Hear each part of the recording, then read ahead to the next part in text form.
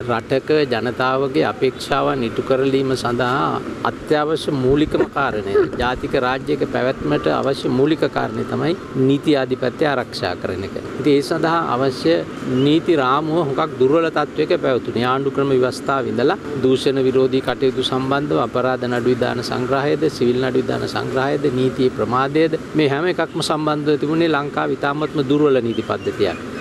ඒක නිසා පහුගිය මාස 18ක් වගේ කෙටි කාලයක් තුළ අපි නීති 75කට වැඩි ප්‍රමාණයක් සම්මත කරා ඒවා නිවැරදි තත්වයට ගන්න. ඒව ක්‍රියාත්මක වෙනකොට තමයි ජනතාවට බොහෝ විට අවබෝධ කරගන්න පුළුවන් වෙන්නේ ඒවායේ තියෙන වැදගත්කම.